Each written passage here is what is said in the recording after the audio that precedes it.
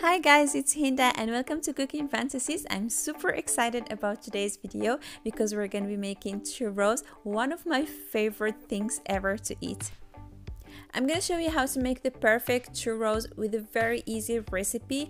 They always come out perfect, so crispy from the outside and rich from the inside and most importantly so delicious and flavorful.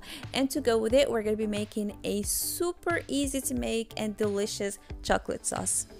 And before we start like always i'm to be leaving you down in the description box all the ingredients you're to need in both the grams and the cups measurements as well as a link to the full recipe where you can also print it if you're new to the channel, we make a lot of easy and delicious recipes, so make sure to hit the subscribe button and the little bell to get notified whenever a new video is up.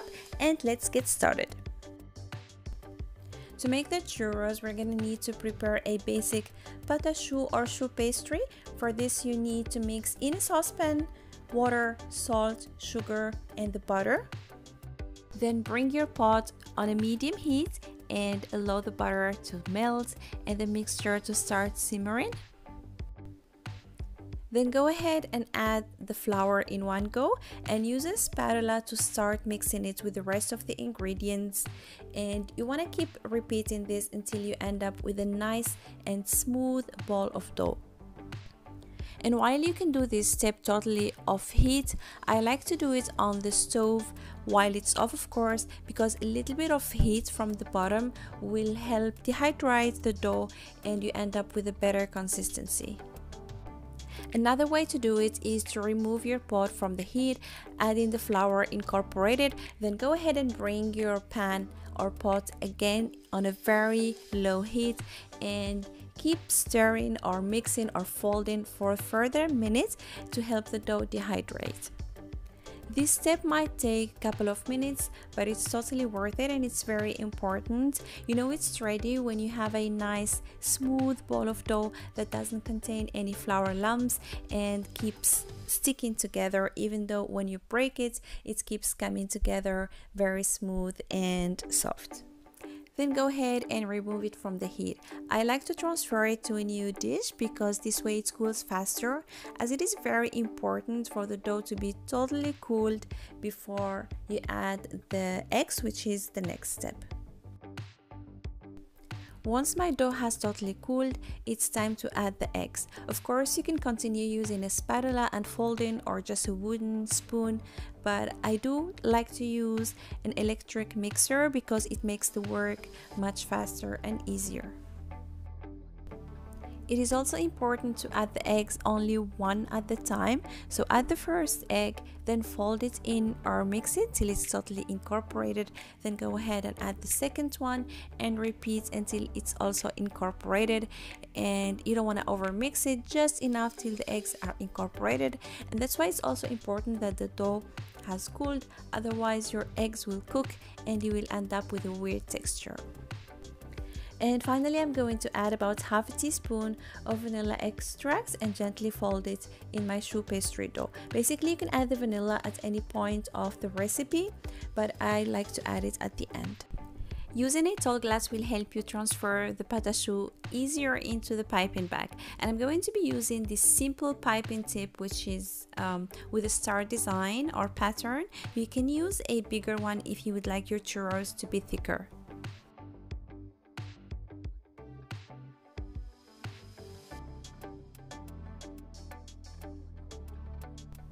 At this point, the pâte choux is ready. You can start piping the churros directly into hot oil in a pan or another option, another way to do it is to pipe them into pieces of parchment paper. In both cases, you're going to need scissors. Make sure they're covered with enough vegetable oil I personally prefer to pipe the churros into pieces of parchment paper before I fry them because first of all this gives you more control over the shape. So if you want to have nice churros that are equal or even then go ahead and pipe them on pieces of parchment paper. But this is not really important. It never matters how they look. They always taste very good. But the second reason is that sometimes I want to have this done a little bit in advance and then I only fry them right before we need to eat them or why is it also good to pipe them on pieces of parchment paper is that you can directly freeze them into these pieces of parchment paper until they are solid frozen. Then you can put them all together in a container or in some freeze bags and leave them in the freezer until you want to eat them. Then you simply take them out and fry them now that the churros are ready, we're gonna start frying them. Make sure you have enough frying oil, about 2 cups, and it should be preheated ideally to 180 degrees Celsius. That's about 360 degrees Fahrenheit, but it doesn't have to be the exact measurement. Just make sure that it's hot enough.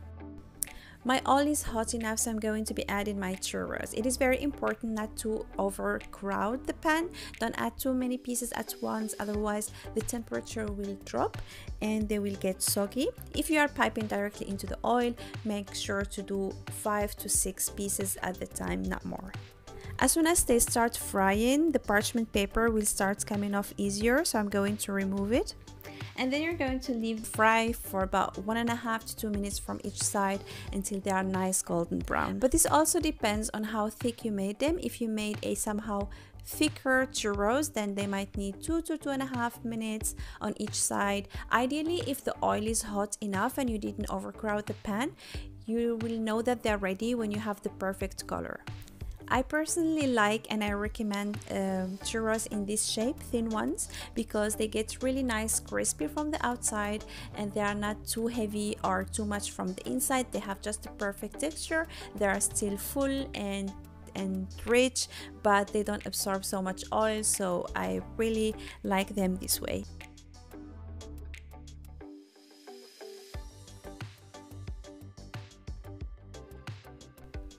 And as soon as I finish frying all my churros, now that they are ready, I'm going to coat them with some white sugar.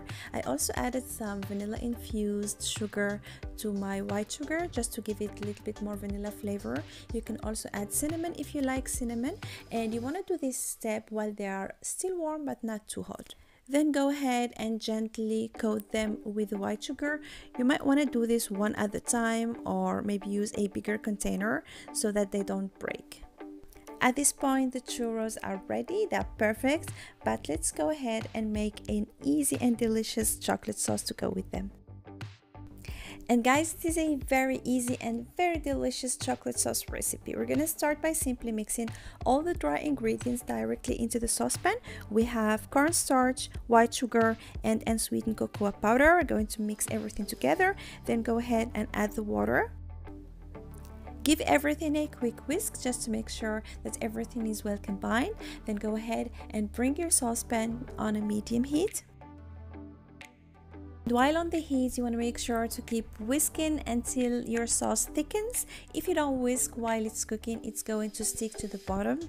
Will take about 2 minutes to 3 minutes, so as soon as you have a nice thick texture, remove it from the heat. This easy chocolate sauce recipe is meant to be uh, used or eaten right away or at least the same day. Since it contains cornstarch, it tends to make a thin crust on the top. So if you want to make this in advance, make sure to add about half to one tablespoon of butter and mix it in with the sauce to make it smoother. And now finally it's time to serve and enjoy. As you see, the churros came out really nice and perfect. They are crispy, they are rich, delicious, and they have really nice flavor. I hope you enjoyed and you liked today's recipe and I hope you will be trying it out soon. And if you do, please let me know how it turned out. I'm always really looking forward and extremely happy to read your comments, your feedback, and if you have any questions, just ask me down in the comment sections and I will get back to you as soon as possible. And don't forget to check the description box for the full recipe in both the grams and the cups measurements as always. I thank you for watching and I hope you enjoyed the video. If you did, please give it thumbs up. Don't forget to hit the subscribe button and the little bell to get notified whenever a new recipe is up. And see you soon in a new video. Happy baking!